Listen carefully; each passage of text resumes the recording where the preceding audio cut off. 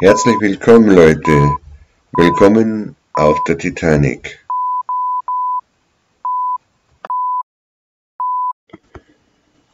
Ja, Leute, herzlich willkommen wieder bei Auto und mit Fritz. Der Vergleich mit der Titanic ist eigentlich gar nicht so verkehrt. Die Titanic ist damals gegen einen Eisberg gelaufen und dadurch gesunken. Bei einem Eisberg schaut etwa ein Drittel über die Wasseroberfläche und zwei Drittel sind unter der Wasseroberfläche. Deshalb auch der Titel Unter Radar, erster Teil. Es geht heute um weitere Parameter, die nicht so äh, in der Öffentlichkeit bekannt gemacht werden. Jeder spricht im Moment von Gas und Strom, aber wir haben noch wesentlich mehr Parameter, die im Augenblick darauf hindeuten, dass wir das Schiff Deutschland und Europa gerade dabei sind, gegen einen Eisberg zu fahren. Und wenn euch das interessiert, dann bleibt an dieser Geschichte dran. Ich habe vor vier Jahren einen Film gemacht, die kommende Katastrophe. Ich habe zwar keine Glaskugel, aber es scheint offensichtlich tatsächlich jetzt so zu sein, dass jetzt der Punkt erreicht wird, wo wir eben Schiffbruch erleiden werden. Ich habe zahlreiche Informationen äh, zusammengestellt und möchte die in diesem Film euch einmal zeigen. Schauen wir es uns mal an. Ja, Leute, die Wirtschaftsleistung von kleinen und mittleren Unternehmen sollte man nicht unterschätzen. Immerhin sind 55 Prozent aller Menschen in Deutschland in solchen Unternehmen beschäftigt und die Bruttowertschöpfung beträgt 42 Prozent.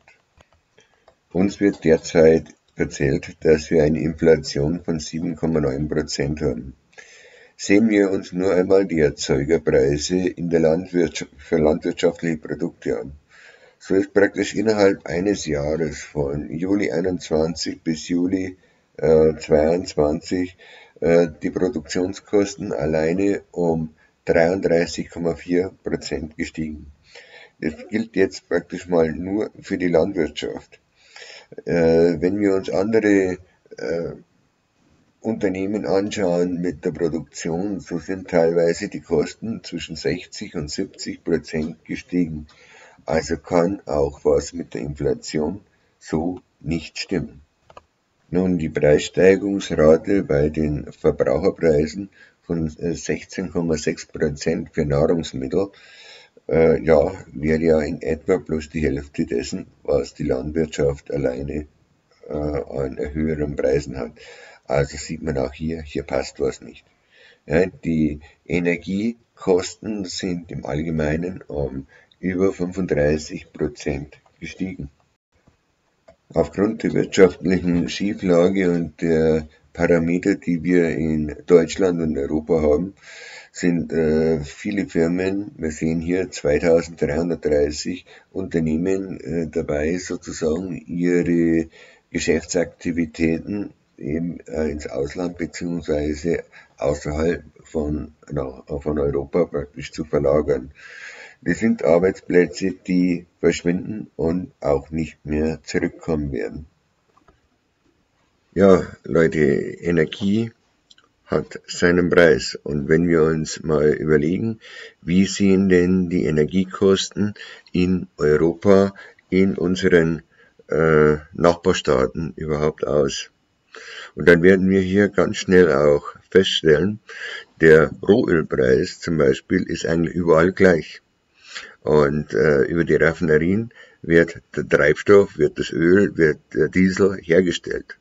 Aber dennoch haben wir entsprechend hohe Preisdifferenzen in unseren Nachbarstaaten.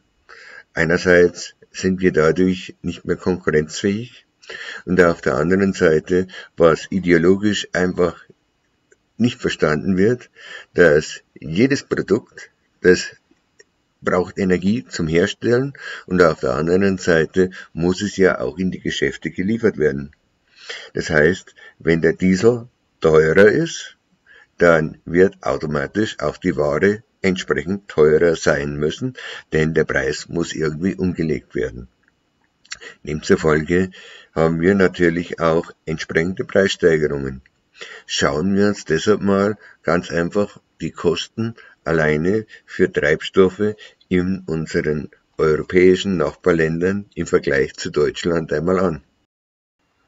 Ja Leute, wir sehen hier zum Beispiel alleine beim Benzin, dass alle anderen Staaten entsprechend äh, günstigere Treibstoffkosten haben und wir müssen den teuren Sprit bezahlen und wir leben eben nicht nur in Hamburg, Berlin oder München, sondern auf dem Land. Wir müssen fahren, um zur Arbeit zu kommen und unseren Lebensunterhalt zu bestreiten. Geld, das uns fehlt. Ich weiß ja nicht, wie es euch geht, aber ich fühle mich irgendwie von unserer Ökopolitik verarscht. Ja? Wir sehen, was eigentlich los ist und wie wir kämpfen, um über die Runden zu kommen.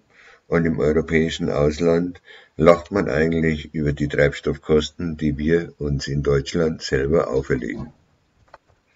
Leute, wir sehen hier eigentlich die Schieflage, die eigentlich da ist. Es sind wenige Staaten, die höhere Preise haben und Deutschland ist eigentlich führend in den Treibstoffkosten. Das ist unsere Energiewende und unser Öko-Beitrag zur Rettung der Welt. Ja Leute, und das hier sind die Dieselpreise. Hier sehen wir, warum unsere Waren so teuer sind warum unsere Transportkosten so teuer sind im Vergleich zu anderen europäischen Staaten. Leute, wir sehen hier den Dieselpreis alleine in Frankreich. Kann man sich vorstellen, wie das praktisch das äh, Wirtschaftsverhältnis äh, durcheinanderwirbelt. Dass wir Kosten haben, die wir nicht so tragen können und die Konkurrenzfähigkeit von Deutschland natürlich dadurch immer mehr auch in Bedrängnis kommt. Es ist eine Ideologie, äh, die uns praktisch jetzt in dieser Wirtschaftssituation das Genick brechen wird. Ja, dasselbe haben wir ja auch beim Strom. Wenn wir nach Deutschland schauen, eine Familie, die 4000 Kilowattstunden im Jahr äh, verbraucht, hat also mindestens Kosten von 1149 Euro, Tendenz extrem stark steigend. Der Strom wird übrigens in ganz Europa äh, produziert und ist äh, von allen Kraftwerken in Europa eigentlich gleich herzustellen. Wir halten uns aber immer an die höchsten Produktionspreise. Die gleiche Strommenge in Frankreich kostet nur 765 Euro. Tja. Und so viel kostet der Speis in Österreich. 829 Euro. Aber jetzt kommt der Hammer.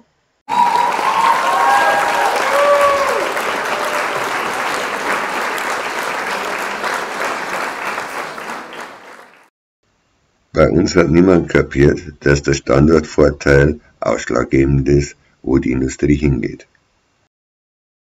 Leute, schauen wir uns doch einfach mal die konjunkturellen Erwartungen an, von der Corona-Pandemie bis zum heutigen Tag und wie die weitere Entwicklung aussieht. Wir sehen, dass es hier eine deutliche Diskrepanz gibt. Wir sehen hier die Konjunkturausblick von der Corona-Zeit und der Gegenwart sowie die zukünftige Entwicklung. Genauso das Geschäftsklima wie sich das Ganze entwickelt. Wir sehen die Erwartungshaltungen und die Realitäten, wie die Firmen ihre Situation einschätzen.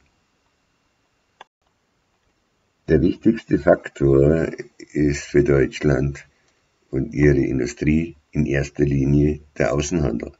Schaut euch mal hier die blauen Pfeile an und wir wissen, wohin der Weg führt.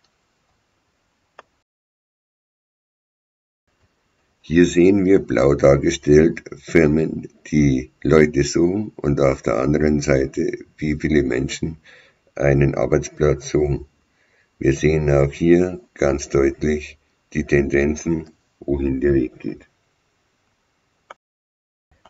Hier sehen wir den wöchentlichen Aktivitätsindex, das heißt, wie in den letzten 13 Wochen die äh, Entwicklung praktisch in der Wirtschaft war. Auch hier sehen wir ganz einfach durch den blauen Pfeil, wie die Entwicklung ist.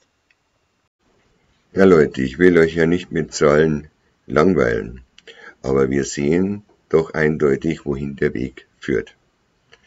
Das heißt, wenn jetzt wir im Winter noch zusätzlich eine weitere Energiekrise bekommen, wenn ein Blackout droht, den wir äh, als Prepper schon lange vorhergesagt haben und deshalb in die rechte Ecke gestellt worden sind ja, äh, und als Verschwörungstheoretiker abgetan worden sind, so sehen wir heute, wie in den öffentlichen Medien davor gewarnt wird, wie sich die Leute auf äh, diese Gefahr vorbereiten sollen.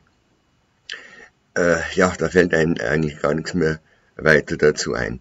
Man muss äh, sagen, verantwortlich für diese ganze Entwicklung sind eigentlich alle politisch verantwortlichen Parteien der letzten Jahrzehnte.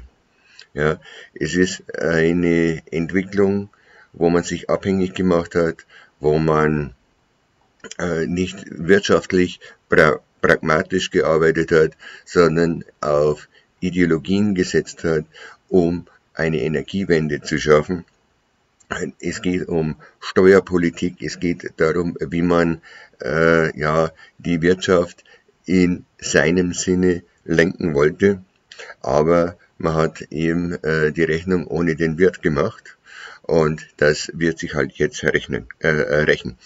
Äh, ich erinnere mich an Franz Josef Strauß, ja, äh, da nehme ich die CSU deshalb nicht aus, aber er hatte damals schon gesagt, dass wenn das äh, Narrenschiff ja, der Rot-Grün Koalition äh, das Ruder übernimmt, dann ist das Leben der äh, jetzigen Generation gefährdet und aus der zukünftigen, ich mache euch dazu mal einen Link stellen, was passiert, wenn wirklich ein Blackout eintritt, Leute, dann wird die Industrie auch so schnell nicht mehr anlaufen, dann haben wir praktisch äh, ja äh, den Standort Deutschland in dem Sinne verloren. Und äh, die Wirtschaftsentwicklung der letzten Jahrzehnte seit der Nachkriegszeit praktisch äh, verspielt. Und wir leben dann in einer völlig anderen Realität. Das Thema Titanic ja, ist deshalb äh, wirklich gut gewählt, denn ich würde sagen, die Losung heißt, Leute, zieht euch verdammt warm an, es wird eine sehr kalte Nacht. Und die Losung auf der Titanic heißt, rette sich wer kann. Wer einen Platz im Rettungsschiff findet, im Rettungsboot, ja, der hat vielleicht eine Überlebenschance. Äh, Im Teil 2 unter Radar werde ich einen äh, Film machen, wo ihr dann seht, wie sich der Staat jetzt momentan äh, neu erfindet und aufstellt in Sachen Katastrophenschutz und Zivilschutz, wohl wissend, was wohl da jetzt auf uns zukommen wird. Es wird nicht lustig, Leute. Schaut euch auch den nächsten Film an, gebt mir eure Kommentare darunter. Ja, wir sind rechte Verschwörungstheoretiker. Bis zum nächsten Mal. Ciao.